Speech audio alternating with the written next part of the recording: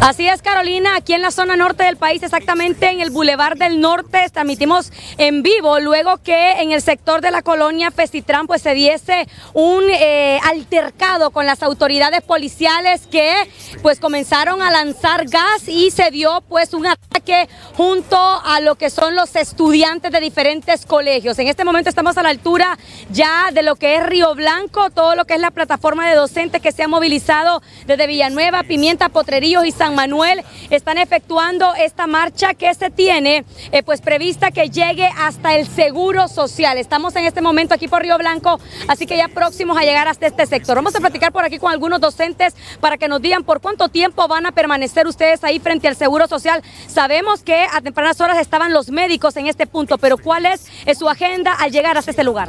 Mire, nosotros vamos a permanecer en la calle, en el seguro o donde nos toque, si no nos reprime la policía, porque la policía empezó a atacarnos ya con gases, pero eso no nos ha corrido, no nos ha amedrentado.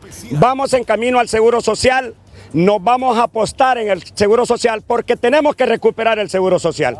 El Seguro Social se le nombró una comisión interventora y ya está casi privatizado en su totalidad. Todos los medicamentos están privatizados, todos los servicios de rayos X, todos los servicios de examen están privatizados. Y eso mismo quieren hacer con educación. Pero nosotros nos comprometimos con el pueblo hondureño y con el gremio magisterial y con el gobierno. Deroguen los PCM y vamos a la mesa. Están derogados los PCM. Ahora, ¿a quién va a llamar el gobierno a la mesa de diálogo? No estamos autorizando a los presidentes de los colegios magisteriales para que vayan a la mesa. Están desautorizados por esta asamblea Hoy en día, el magisterio de, Cortés desautoriza a los presidentes de los colegios que nos representan en la mesa. ¿A quién queremos a la mesa? A la doctora Suyapa, a la doctora presidenta del colegio médico, porque nos ha demostrado temple, carácter, nos ha demostrado dignidad, honradez, honor.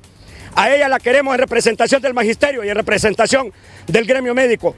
No vamos a regresar a las aulas de clase mientras no llamen a la doctora en nombre del magisterio, en nombre de los médicos, a la mesa de diálogo. No queremos a los cuatro apocalipsis del magisterio, porque ellos en la oscuridad de la noche fueron a vender al magisterio sin consultar a las bases a casa presidencial.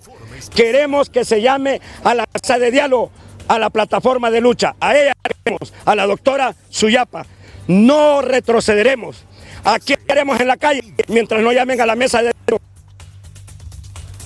Está suscitándose en la zona norte del país. Esperamos que retorne la paz.